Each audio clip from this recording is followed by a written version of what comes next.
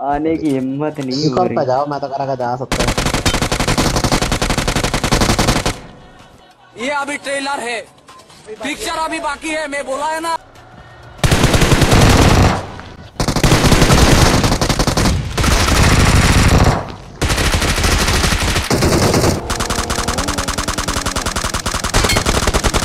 ये।